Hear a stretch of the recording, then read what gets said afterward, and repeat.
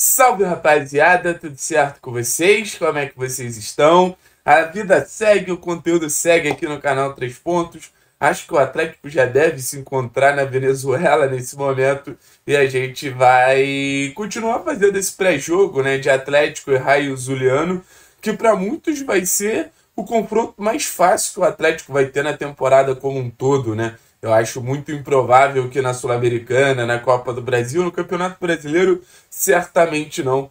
É, a gente enfrente um time tão fraco quanto o time venezuelano, que não é nem questão de ser só um time fraco, né? É um time fraco que nesse momento vive uma péssima fase e o Atlético viaja para a Venezuela com a possibilidade de se classificar de maneira antecipada e com a possibilidade também de ver o técnico Cuca fazendo alguns testes importantes, de ver o técnico Cuca fazendo algumas alternâncias importantes no time do Atlético, pensando não só apenas no jogo contra o Raio Zuliano. Eu acho que no final das contas o que menos importa para os testes do Cuca é o jogo contra o Raio Zuliano, que acaba sendo um jogo bem acessível ali para gente. Acho que a vitória ela vai vir ao natural e é o tipo de jogo que eu nem me preocupo em falar isso. Às vezes a gente traz esse tipo de análise mais confiante, mas bate aquela dúvida: pô, será que o Atlético vai entregar o que a gente está esperando?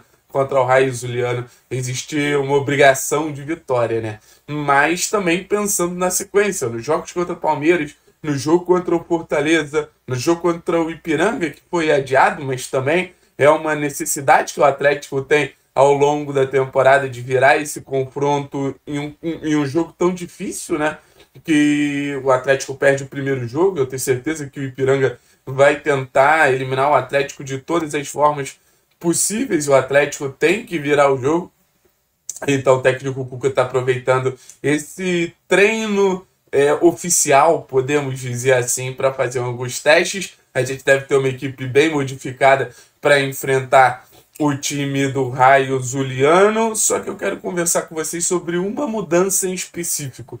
Uma mudança tática e uma mudança que eu acho que acaba fazendo muito sentido, que é a mudança na ponta esquerda do Atlético. Dá para dizer que o Atlético vai ter um novo, novo ponta esquerda contra o Raio Zuliano, né? Nosso novo ponta esquerda não vai ser Julimar, nosso novo ponta esquerda não vai ser Thomas Coelho, que vai jogar pelo outro lado. Nosso novo ponta esquerda vai ser Lucas Esquivel. Lucas Esquivel vai assumir a posição ali. O Atlético vai jogar naquele esquema que vários times gostam de jogar, né? Com dois laterais. Fernando volta ao time titular depois de bastante tempo fazendo o corredor na primeira base e logo à frente a gente deve ter Lucas Esquivel assumindo um papel de extremo, Lucas Esquivel assumindo um papel de ponta. E Thiago, o que esperar dessa substituição, dessa mudança de posição do Esquivel, o, o quanto o Esquivel pode colaborar ali com a gente. Chega mais, deixa o like, se inscreve no canal. Lembra que esse vídeo é patrocinado pela KTO, a melhor casa de apostas do Brasil. E vambora. Seguinte, meu povo, Lucas Esquivel ou Lucas Esquivel, a gente nunca sabe como é a pronúncia certa, como ponta esquerda. Eu acho que o momento é muito propício, tá? O primeiro comentário que eu quero fazer é esse. Na temporada passada, a gente viu um Lucas Esquivel muito mais voltado à parte defensiva, composição de linha defensiva, fazer um terceiro zagueiro, um lateral mais de base, um lateral mais de construção.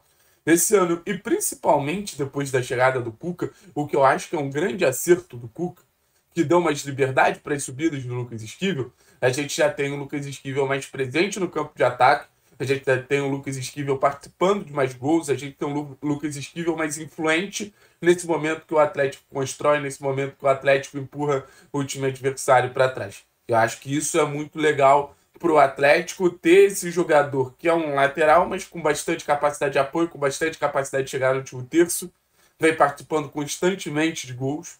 Assistência contra a equipe do Vasco, assistência contra a Juventude, gol contra o próprio Raio Zuliano até naquela boa fase ali de goleadas em sequência no Campeonato Estadual, também participando de um, alguns gols importantes, como foi o gol da virada do Pablo contra o Operário na semifinal do Campeonato Paranaense. Então, tudo que nesse momento o Esquivel ele quer é liberdade para atacar, liberdade para chegar no último terço e ataca de formas diferentes, né? Isso que é muito interessante de você perceber porque não é só o cara que vai passar como uma flecha.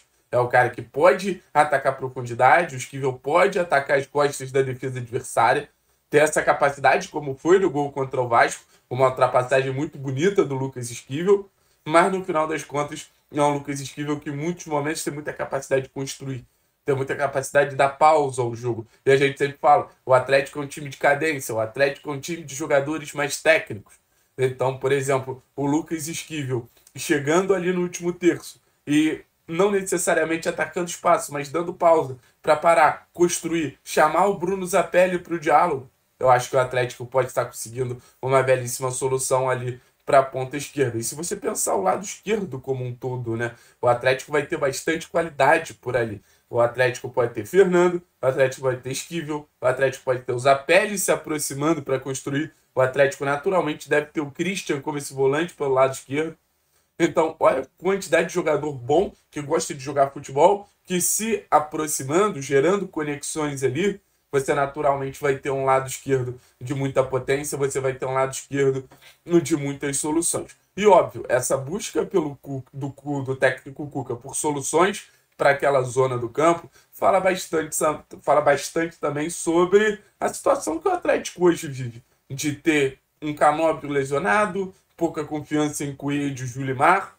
O Atlético ele busca um ponta não só no mercado. E era isso que eu cobrava do técnico Cuca olhar para o nosso elenco e encontrar soluções. Ah, o Esquivel vai dar certo, o Esquivel não vai dar certo? A gente não sabe. É uma situação que pode vir a dar certo. Acho que isso que a gente tem que ter na nossa cabeça. É uma situação que pode ser uma solução excelente para o problema que a gente tem hoje no elenco. O nosso elenco, mexendo uma pecinha aqui, mexendo uma pecinha ali do tabuleiro, você tem outras opções que estão muito na cara para assumir é, demandas importantes dentro do elenco do Atlético, brechas importantes dentro do elenco do Atlético. Então, o técnico Cuca começa a fazer o que a gente cobrava, buscar soluções. Não sei se veio dele, de algum analista, mas o próprio Léo Godoy, em algum momento, pode ser um jogador avançado para atuar com mais liberdade, com chegada à frente. Você pode ter o Christian pelo lado, o Christian por dentro. Enfim, a gente já conversou muitas vezes a capacidade do, do elenco do Atlético de oferecer soluções por ser um elenco muito bom e por ser um elenco muito versátil. Então, para esse jogo contra o, o Raiz Juliano, a gente deve ter o Lucas Esquivel por ali. E é um jogo também que o Atlético tem uma questão, que a gente vai falar já já, em relação ao Gonzalo Mastriano. O Gonzalo Mastriano é uma peça que o Atlético vem botando para jogar. O grande ponto é que o Atlético não vem criando as oportunidades para Gonzalo Mastriani. Então, quem sabe o Lucas Esquivel, que vem sendo um cara muito responsável por distribuir assistências, não ajuda Gonzalo Mastrani quebrar esse, esse jejum que ele vem vivendo, criando boas oportunidades, cruzando, botando a bolinha ali dentro da área, que é onde o Mastrani gosta de finalizar. Então, matando um pouquinho a, a curiosidade de vocês sobre a escalação, uma escalação que realmente vai ser muito diferente, acho que vai surpreender a grande maioria, mas eu precisava falar sobre isso, porque eu estou na expectativa que dê certo. Eu estou na expectativa que seja uma solução tática e técnica que, que a gente vai surpreender bastante gente. Valeu? Tamo junto. É nóis, pessoal. Valeu, valeu, valeu, valeu.